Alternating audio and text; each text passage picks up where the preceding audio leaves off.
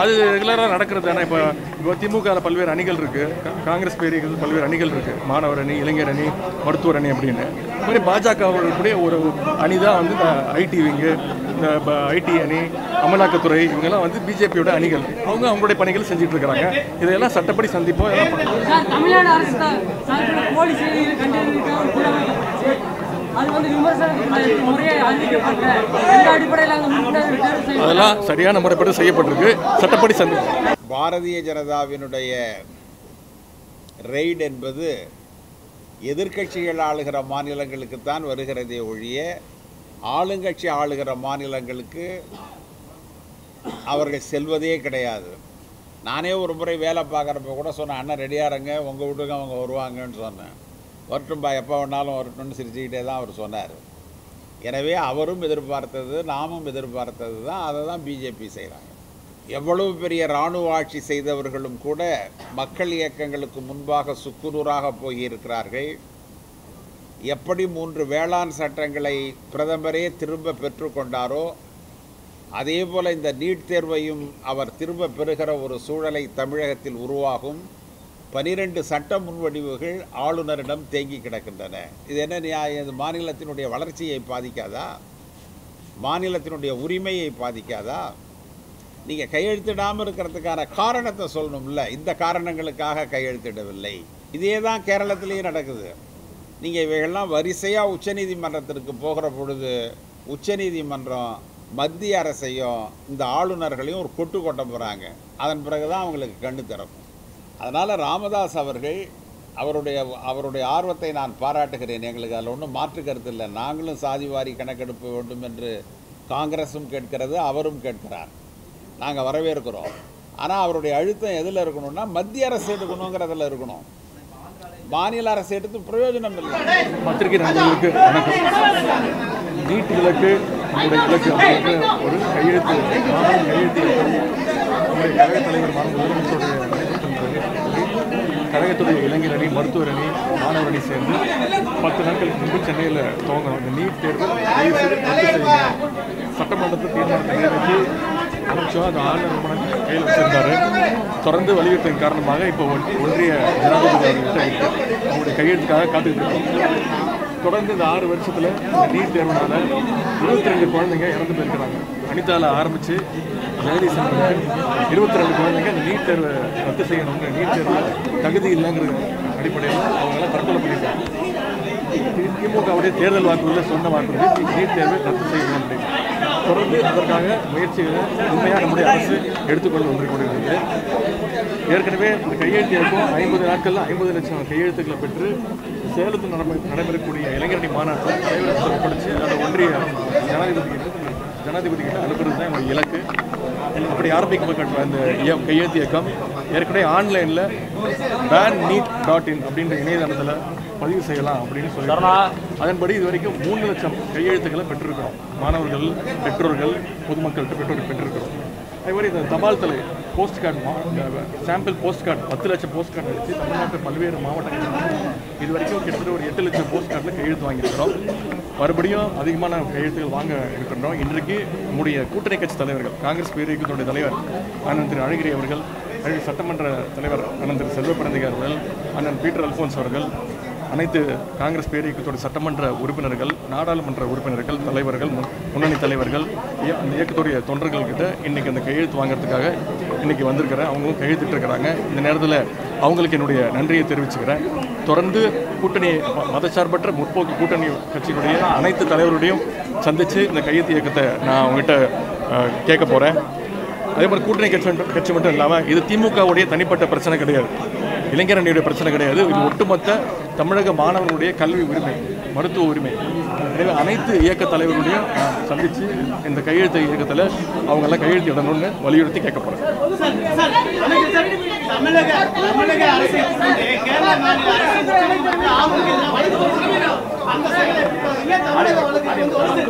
சட்ட வழக்கு போட்டிருக்கோம். சட்டப்படி முயற்சிப்போம் எங்களுடைய தலைவர் ஏற்கனவே சொல்லியிருக்கிறாரு.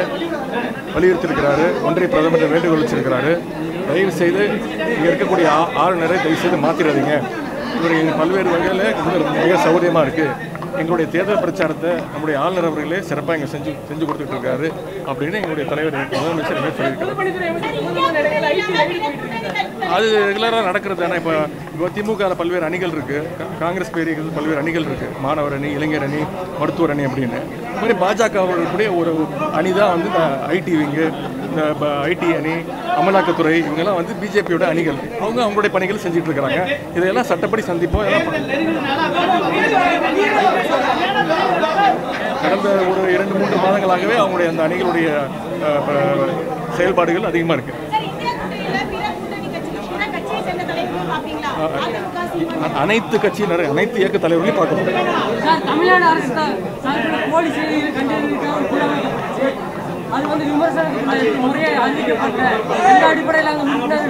அதெல்லாம் சரியான முறைப்படி செய்யப்பட்டிருக்கு. சட்டப்படி சந்தி மாண்புமிகு உதயநிதி அவர்கள் நீட் தேர்வுக்கு எதிரான கையெழுத்து இயக்கத்தை தமிழகத்தில் துவக்கி நடத்தி கொண்டிருக்கிறார்கள். பரவலான ஆதரவு பெரும்பான்மையான ஆதரவு அந்த கையெழுத்து இயக்கத்திற்கு இருக்கிறது. மத்திய அரசின் சர்வாதிகார போக்கை எதிர்த்து மாநில அரசுகளுக்கு வழங்க வேண்டிய உரிமைகளை வழங்காமல் அவர்கள் தவிர்ப்பதை எதிர்த்து இதை மக்கள் இயக்கமாக மாற்ற வேண்டும் என கருதி எங்களுடைய கூட்டணி கட்சிகள் உதயநிதி அவர்களுடைய முயற்சியால் இந்த கையெழுத்து இயக்கத்தை துவக்கியிருக்கிறார்கள். இதுவரை பத்து லட்சத்திற்கு மேற்பட்ட கையெழுத்துகள் பெறப்பட்டிருக்கின்றன. இன்றைக்கு நட்பு ரீதியாக சத்தியமூர்த்தி பவன் காங்கிரஸ் அலுவலகத்திற்கு வந்து எங்களுடைய தோழர்கள் அனைவரிடமும் அவர் கையெழுத்து பெற்று சென்றிருக்கிறார். இதை ஒரு மக்கள் இயக்கமாக நான் பார்க்கிறேன். இந்த மக்கள் இயக்கம் வெற்றி பெறும் என்பது என்னுடைய கருத்து. எவ்வளவு பெரிய சர்வாதிகாரிகளும் எவ்வளவு பெரிய இராணுவ ஆட்சி செய்தவர்களும் கூட மக்கள் இயக்கங்களுக்கு முன்பாக சுக்குநூறாக போயிருக்கிறார்கள். எப்படி மூன்று வேளாண் சட்டங்களை பிரதமரே திரும்ப பெற்றுக்கொண்டாரோ அதே போல் இந்த நீட் தேர்வையும் அவர் திரும்ப பெறுகிற ஒரு சூழலை தமிழகத்தில் உருவாகும். அந்த உருவாக்கத்திற்கு நாங்கள் முயற்சி செய்கிறோம். அதனுடைய ஒரு விளைவாக இன்றைக்கு மாண்புமிகு உதயநிதி அவர்கள் இங்கே வந்து கையெழுத்து பெற்றார்கள். அதற்காக அவர்களை தமிழக காங்கிரஸ் பாராட்டுகிறது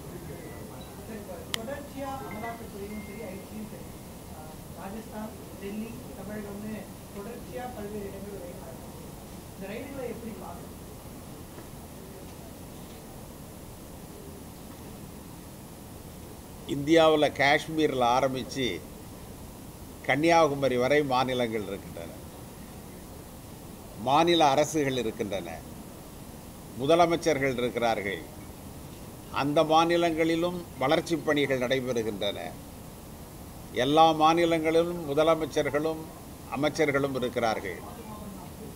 ஆனால் பாரதிய ஜனதாவினுடைய ரெய்டு என்பது எதிர்க்கட்சிகள் ஆளுகிற மாநிலங்களுக்குத்தான் வருகிறதே ஒழிய ஆளுங்கட்சி ஆளுகிற மாநிலங்களுக்கு அவர்கள் செல்வதே கிடையாது. இது வந்து வெளிப்படையாக தெரிகிறது அப்பட்டமாக தெரிகிறது. ஒரு விதிமுறை மீறல் ஒரு சர்வாதிகார போக்கு எதிர்க்கட்சிகளை நசுக்குவதற்காக ஹிட்லர் கையாண்ட வழி முசோலினி எதை செய்தாரோ அதை மோடி செய்கிறார். அவ்வளவுதான். பரவலாக இது நடந்திருந்தால் பாரதிய ஜனதா ஆளுகிற மாநிலங்களிலும் இவைகள் நடந்திருந்தால் அல்லது பாரதிய ஜனதாவிற்கு ஆதரவு தருகிற மாநிலங்களிலும் இது நடந்திருந்தால் வரவேற்கலாம். தமிழகத்திலேயே கூட முன்னாள் அதிமுக அமைச்சர்கள் மீதான குற்றச்சாட்டை விசாரணைக்கு ஆளுநரிடம் அந்த கோப்பு தேங்கி இருக்கிறது. அதில் கையெழுத்திட மறுக்கிறார் ஏன்னா அதிமுக தப்பு செஞ்சிருந்தா அதை விசாரிக்க அவர் ஒத்துக்க மாட்டார். அவங்க விசாரணை முழுவதும் அவர்களுடைய எதிர்க்கட்சிகள் பக்கம்தான் திரும்புகிறதே ஒழிய அவர்கள் பக்கம் திரும்பவில்லை. நான் இப்பயும் ஒன்று சொல்கிறேன் வேலு அவர்கள் இந்த இரண்டரை ஆண்டு காலத்தில் தமிழகத்தினுடைய சாலைகளை அற்புதமாக செம்மைப்படுத்தியிருக்கிறார். அது கிராமப்புற சாலையாக இருந்தாலும் சரி மாவட்ட சாலையாக இருந்தாலும் சரி மாநில சாலையாக இருந்தாலும் சரி தேசிய நெடுஞ்சாலையாக இருந்தாலும் சரி மிக தரமான சாலைகளை போட்டிருக்கிறார்கள். மத்திய அரசு என்ன செய்யணும்னா இந்த சாலைகள் தரமாக இருக்கிறதான்னு வேணால் போய் பார்க்கலாம். அது தரமாக இருக்கிறதுனால அதை அவங்க பார்க்குறதில்ல. இல்லை இதை போன்று அரசியல் ரீதியான குறுக்கீடுகளை செய்வதற்கு அவர்கள் முயற்சிக்கிறார்கள். இது வன்மையாக கண்டிக்கத்தக்கது. ஆனால் எதிர்பார்த்தது தான். நானே ஒரு முறை வேலை பார்க்குறப்ப கூட சொன்னேன் அண்ணன் ரெடியாக இருங்க. உங்கள் வீட்டுக்கு அவங்க வருவாங்கன்னு சொன்னேன். வரட்டும்பா எப்போ வேணாலும் வரட்டும்னு சிரிச்சுக்கிட்டே தான் அவர் சொன்னார். எனவே அவரும் எதிர்பார்த்தது நாமும் எதிர்பார்த்தது தான். அதை தான் பிஜேபி செய்கிறாங்க தமிழக அரசு போல கேரளா மாநில அரசு அந்த மாநில ஆளுநருக்கு எதிராக உச்சநீதிமன்றத்தில் வழக்கு கொடுக்கும் இது தமிழக வழக்குக்கு எந்த அளவுக்கு வருது இருக்கும் நினைக்கிறீங்க? நீங்கள் வந்துங்க இந்திய அரசமைப்பு சட்டத்திற்கு எதிராகவே மோடி அரசாங்கம் செயல்படுகிறது. தன்னுடைய ஆளுநர்களை அவர்கள் என்ன சொல்லி அனுப்புகிறார்கள் என்றால் நீங்கள் போகிற மாநிலங்களில் அது பிஜேபிக்கு ஆகாத மாநிலமாக இருந்தால் எவ்வளவு தொந்தரவு கொடுக்க முடியுமோ கொடுக்கணும். அது வரைக்கும் தான் நீங்கள் ஆளுநராக இருக்கலாம். நீங்கள் நியாயமாக நடந்துக்கிட்டால் நீங்கள் ஆளுநராக இருக்க முடியாது என்று சூசகமாக தெரிவித்து விடுகிறார்கள். ஒரு மாநில அரசை செயல்படாமல் தடுப்பது எப்ப என்பது எப்படி நியாயம்?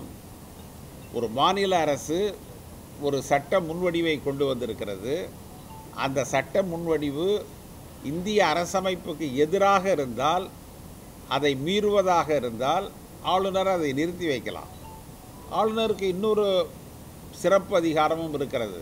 முதலமைச்சரை நேரில் அழைத்து பேசலாம். தலைமை செயலாளர் தலைமை காவல்துறை அதிகாரியை நேரில் அழைச்சி பேசலாம்.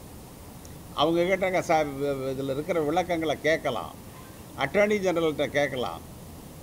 கேட்டு இதை மாதிரிலாம் இதில் இருக்குது இதை மாற்றி கொண்டாங்கன்னா மாற்றி கொண்டாட போகிறாங்க கையெழுத்திட போகிறீங்க எதுவுமே இல்லாமல் தூக்கி குப்பை தொட்டில் போட்டு வர்றதுன்னு சொன்னால் என்ன அர்த்தம்? பனிரெண்டு சட்ட முன்வடிவுகள் ஆளுநரிடம் தேங்கி கிடக்கின்றன. இது என்ன நியாயம்? இது மாநிலத்தினுடைய வளர்ச்சியை பாதிக்காதா? மாநிலத்தினுடைய உரிமையை பாதிக்காதா? நீங்கள் கையெழுத்திடாமல் இருக்கிறதுக்கான காரணத்தை சொல்லணும்ல. இந்த காரணங்களுக்காக கையெழுத்திடவில்லை. இது அரசமைப்பு சட்டத்திற்கு எதிராக இருக்கிறது. அல்லது எந்த வகையில் இதற்கு நான் கையெழுத்திட முடியாது என்பதற்கான காரணத்தை அவர் சொல்லணும். இதெல்லாம் நம்முடைய அமைப்பில் இருக்குது இதே தான் கேரளத்திலையும் நடக்குது. நீங்கள் இவைகள்லாம் வரிசையாக உச்சநீதிமன்றத்திற்கு போகிற பொழுது உச்சநீதிமன்றம் மத்திய அரசையும் இந்த ஆளுநர்களையும் ஒரு கொட்டு கொட்ட போகிறாங்க அதன் பிறகு தான் அவங்களுக்கு கண்ணு திறக்கும். முன்னாடி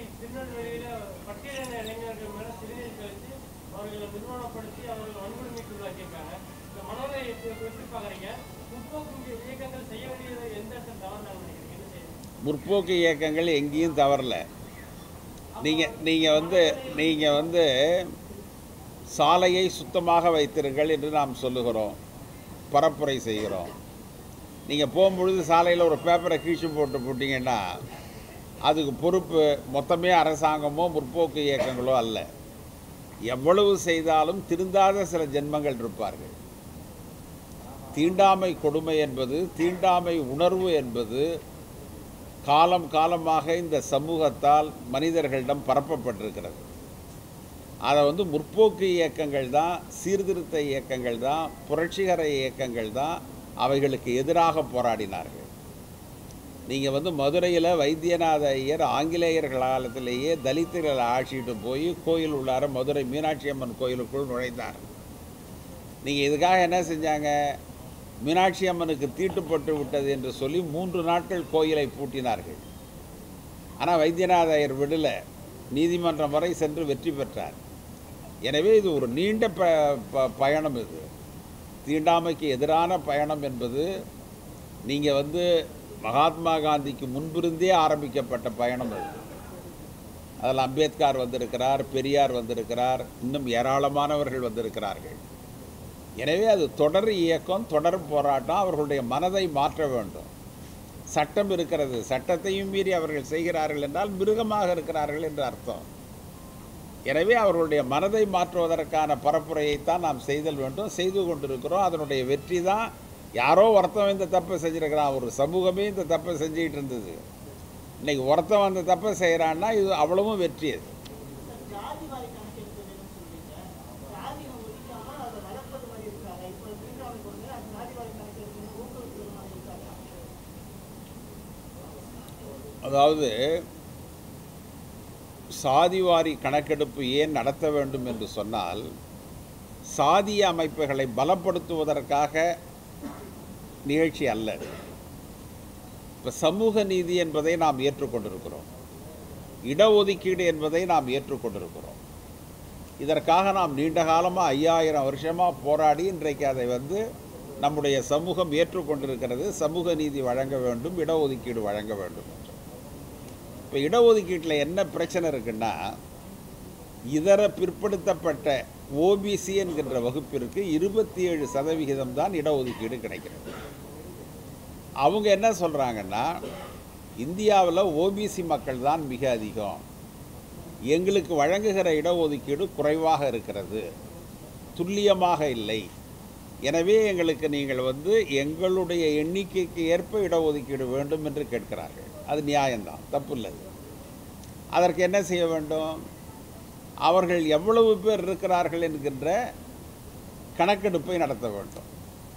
பத்து ஆண்டுகளுக்கு ஒரு முறை மக்கள் தொகை கணக்கெடுப்பு என்பது இந்தியாவில் ஆங்கிலேயர் காலத்திலேயே தோற்றுவிக்கப்பட்டது. ஆனால் முதன் முறையாக பிஜேபி ஆட்சிக்கு வந்த பிறகு தான் இந்த பத்து ஆண்டுகளுக்கு ஒரு முறை என்பதை கைவிட்டுட்டாங்க. அந்த கணக்கெடுப்புலேயே நாம் என்ன சொல்கிறோன்னா ஓ எந்தெந்த ஜாதிகள் எவ்வளவு இருக்கிறார்கள் என்பதையும் சேர்த்து எடுங்கங்கிறோம். ஏன்னா அப்பொழுது தான் துல்லியமான இடஒதுக்கீடு அவர்களுக்கு கிடைக்கும். இப்போ இப்போ நம்ம இவங்க ம மோடி என்ன சொன்னார்னா அது மாதிரி எடுக்க முடியாது சிரமம்னு சொன்னார். உடனே நாங்கள் சொன்னோம் எடுக்க முடியும் அதற்கான வாய்ப்பு இருக்குது அப்படின்னு சொல்லி பீகாரில் நாங்கள் எடுத்து காட்டினோம். பீகாரில் எடுத்து காட்டினா இதர பிற்படுத்தப்பட்டோர் ஓபிசி என்கின்ற வகுப்பு எழுபது சதவீதத்துக்கு மேலே இருக்கிறாங்க. ஆனால் நமக்கு இருபத்தேழு சதவீதம் தான் அவங்களுக்கு நாம் இடஒதுக்கீடு தரோம். இப்போ என்ன ஆகிடுது அவர்களுக்குரிய பங்கை தர வேண்டும் என்கின்ற துல்லியமான கணக்கு கிடைக்கிறது. அதுக்காக தான் அதை எடுக்கணும்னு சொல்கிறோம்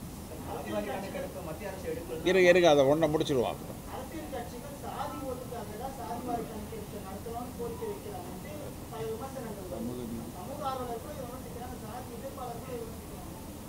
அதாவது விடிய விடிய விடிய ராமாயணம் கேட்டு ராம சீதை சித்தப்பாங்கிற கதையாக போச்சு. நான் என்ன சொல்கிறேன் எதற்காக நாம் இதை கேட்கிறோம் என்பதை உங்களுக்கு ஆதாரபூர்வமாக சொல்லியிருக்கிறேன். யாராவது கிறுக்கர்கள் வந்து கிறுக்குத்தனமாக ஒரு விமர்சனம் செஞ்சால் அது வந்து சபை ஏறுமா? இப்போ நான் சொன்னதில் தவறு இருந்தால் நீங்கள் சொல்லுங்கள் சார் மத்திய அரசு ஜாதிவாரி கணக்கெடுப்பு எடுக்கணும்னா மாநில அரசுக்கு அதை செய்யறதுக்கு உரிமை இருக்குன்னு சொல்லி பக்காளி முன்மொழி ராமதாஸ் உரிமை இருக்கிறது. தாராளமாக எடுக்கலாம். பீகாரில் நாங்கள் எடுத்திருக்கிறோம். அதனால் என்ன பலன்? மாநில அரசு எடுக்கிற சாதிவாரி கணக்கெடுப்பை மத்திய அரசு ஏற்றுக்கொள்ளாது. தேர்தல் ஆணையம் ஏற்றுக்கொள்ளாது. நீங்கள் வந்து மக்கள் தொகை கணக்கெடுப்பு நடத்துகிற அந்த அமைப்பு ஏற்றுக்கொள்ளாது. அவர்கள் எடுத்தால்தான் அது சட்டத்திற்கு முன்பு வரும். அதுதான் அங்கீகரிக்கப்படும். ஒரு மாவட்டத்தில் மாவட்ட ஆட்சித்தலைவரோ அல்லது மாநிலத்தில் முதலமைச்சரோ அதை எடுத்தால் கணக்கு இருக்குங்கிறத நமக்கு தெரியுமே ஒழிய அதனால் வந்து நம்ம வந்து அதிகாரப்பூர்வமாக அந்த உரிமையை பெற முடியாது. இப்போ பீகாரில் எடுத்திருக்கிறாங்க. கவர்மெண்ட் ஆஃப் இந்தியா அதை ஏற்றுக்கலையே வச்சுக்கிங்கன்ட்டான். ஏன்னா அவங்க மக்கள் தொகை கணக்கெடுப்பு நடத்துகிறவங்க தான் அதை செய்யணும். அதனால் ராமதாஸ் அவர்கள் அவருடைய அவருடைய ஆர்வத்தை நான் பாராட்டுகிறேன். எங்களுக்கு அதில் ஒன்றும் மாற்று கருத்து இல்லை. நாங்களும் சாதிவாரி கணக்கெடுப்பு வேண்டும் என்று காங்கிரஸும் கேட்கிறது அவரும் கேட்கிறார். நாங்கள் வரவேற்கிறோம். ஆனால் அவருடைய அழுத்தம் எதில் இருக்கணும்னா மத்திய அரசு எடுக்கணுங்கிறதுல இருக்கணும். மாநில அரசு எடுத்து பிரயோஜனம் இல்லை. பீகாரில் எடுத்தோம். என்ன ஆச்சு? அதுதான். அதுதான் நான் சொல்கிறேன் பீகாரில் முன்னாடியே எடுத்தாச்சு இல்லை. எடுத்து நம்ம தெரிஞ்சிக்கலாம் அவ்வளவுதான். நடைமுறைப்படுத்தணும்னா அவங்க தான் எடுக்கணும்.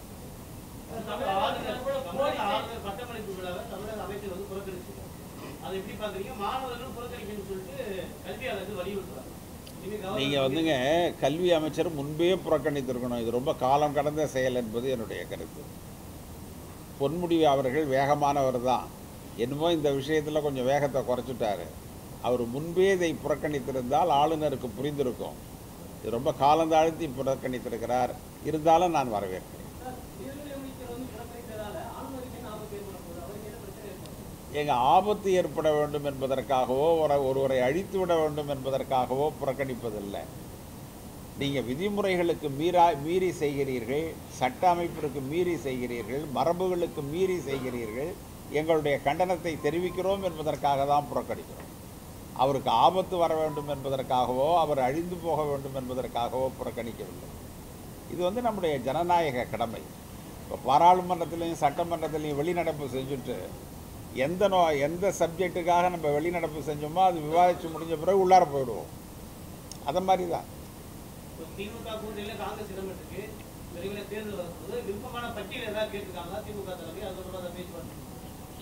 நீங்கள் எல்லா செய்தியாளர்கள் சந்திப்புக்கும் நீங்கள் போகிறீங்க அது மாதிரி உன்னை கேட்டு வாங்கிட்டு வந்து எங்களுக்கு கொடுங்களேன். நாங்கள் என்ன தொடங்கினா உங்ககிட்ட தானே சொல்லுவோம். தமிழக அரசு சார்பில் போலி செய்திகளை கண்டறிந்து அதை நீக்கிறதுக்கான ஒரு குழு அமைக்கப்பட்டிருக்கு கடந்த ஏப்ரல் மாதம் மத்திய அரசும் அது மாதிரி ஒரு குழு அமைக்கப்பட்ட போது பல்வேறு எதிர்ப்புகள் வந்து உச்சநீதிமன்றத்தில் அது வழக்கு நிலுவையில் இருக்கு. இப்ப தமிழக அரசும் அதை கொண்டு வந்திருக்காங்க. அது வைக்கப்படுது அது புரியல புரியல. எதுக்கு?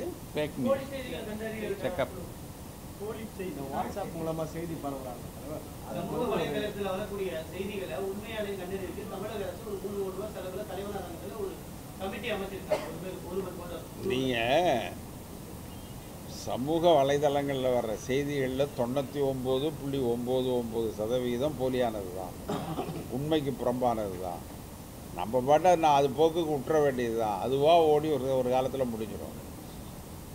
அரசாங்கம் செய்ய வேண்டிய முயற்சியை செய்யட்டும் நான் வேணான்னு சொல்ல. அது நிறையா இருக்குல்ல. நிறையா வந்துக்கிட்டு தான்